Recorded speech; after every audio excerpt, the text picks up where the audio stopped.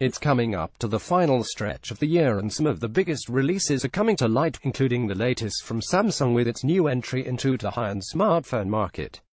In one corner, we have a phone that tries to do everything all in one package, while in the other we have a phone that tries to offer the fundamentals while redefining what a smartphone user really requires.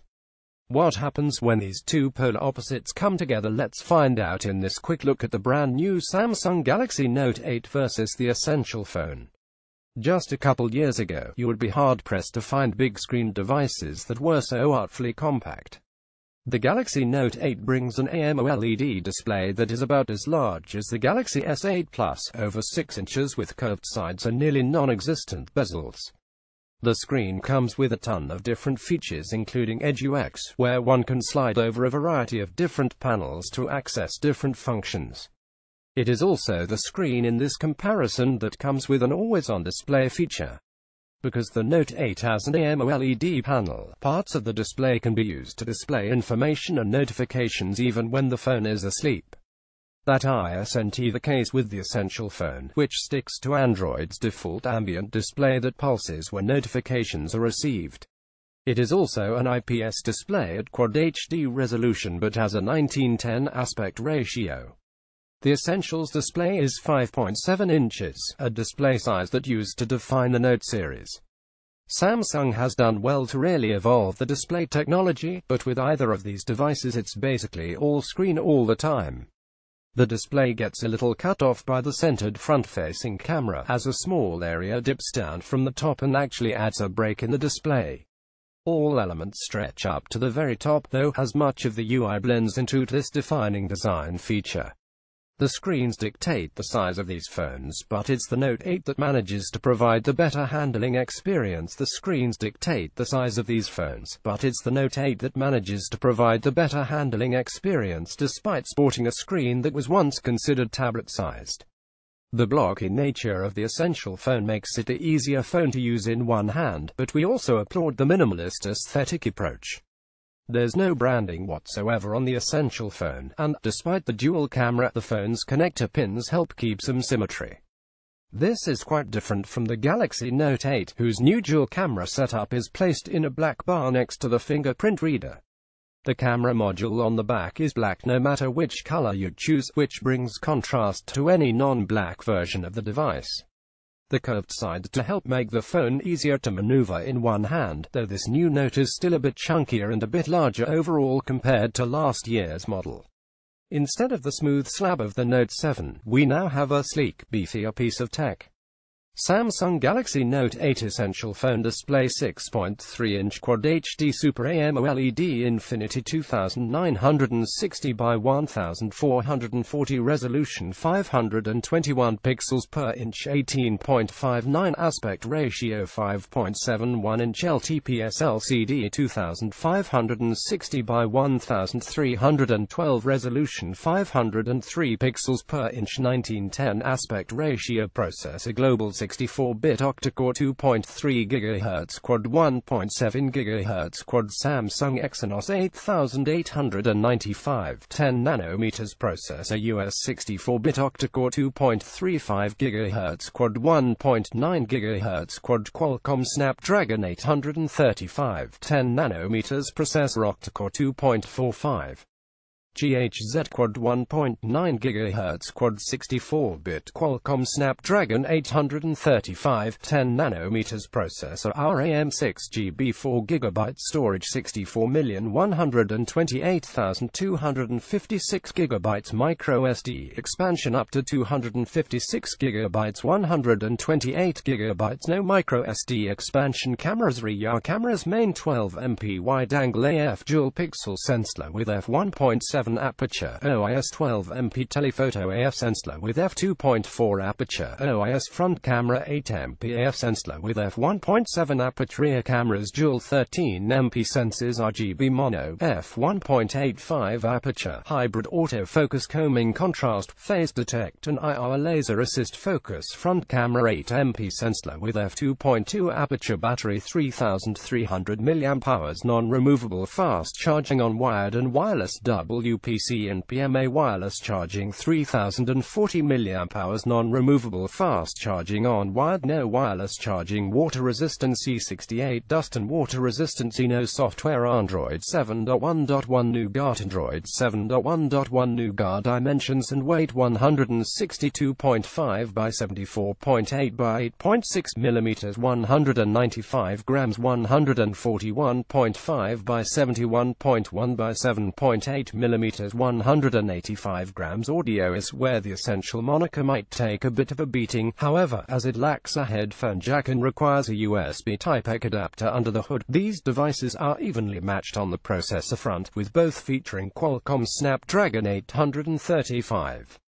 Samsung has stepped its game up with 6GB of RAM in all Note 8 variants, while Essential keeps the standard 4GB of RAM. It makes sure 128GB of internal storage makes up for the lack of SD card expansion. Audio is where the Essential moniker might take a bit of a beating, however, as it lacks a headphone jack and requires a USB Type-A adapter.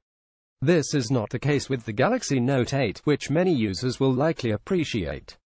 And despite the larger 3300 mAh battery of the Samsung phone, it is trying to power a larger display and a ton of other features. The 3040 mAh unit in the Essential is likely to be proportionate for its 5.7-inch display, but we will see how both of these phones fare in the daily usage. The S Pen continues to be one of the most well thought out companions to any smartphone. This brings us to the S Pen, the hardware edition that has always defined the Note lineup.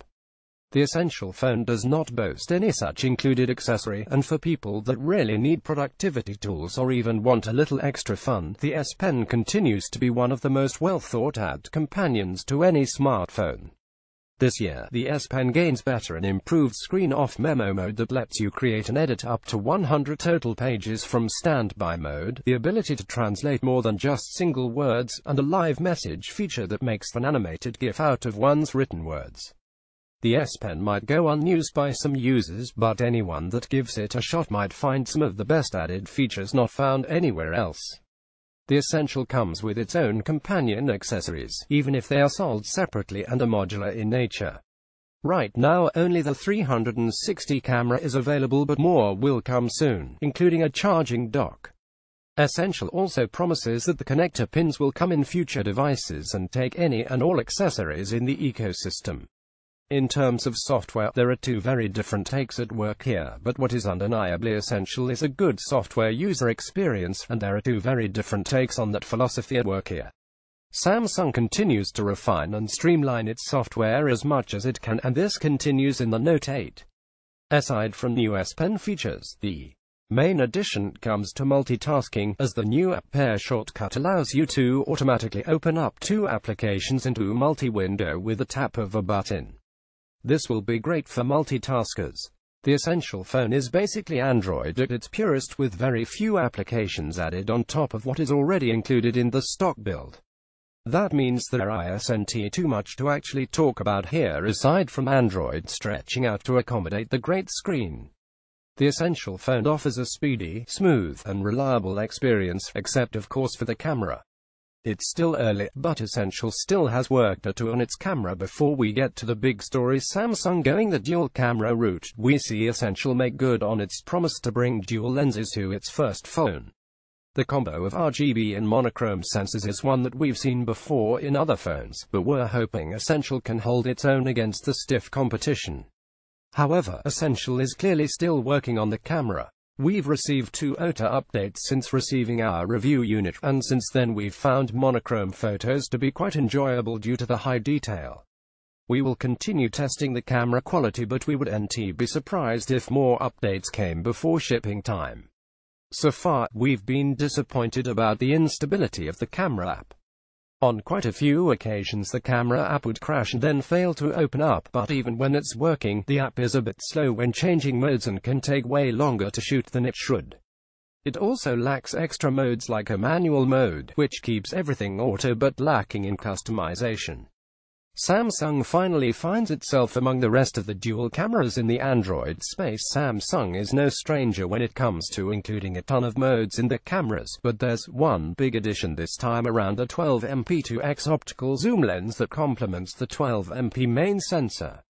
Together, they bring a live focus feature for depth of field shooting, which is great for taking portrait shots. What we really like about this mode is the fact that you can change the depth of field after the picture is taken. Otherwise, the camera utilizes the zoom up to 10x digitally and can be smoothly altered by sliding the shutter button up and down like on a camcorder.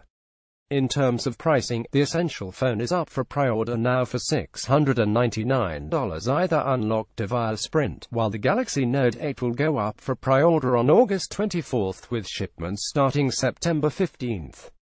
There are two fundamentally different philosophies at play here. There are two fundamentally different philosophies at play here. Samsung is still continuing to provide a feature-packed yet reliable experience, while the Essential phone is trying to give users the best possible experience with what they deem truly essential. Whichever one you end up choosing, however, you'll be getting one of the most unique-looking phones of 2017. Next Samsung Galaxy Note 8 versus the competition.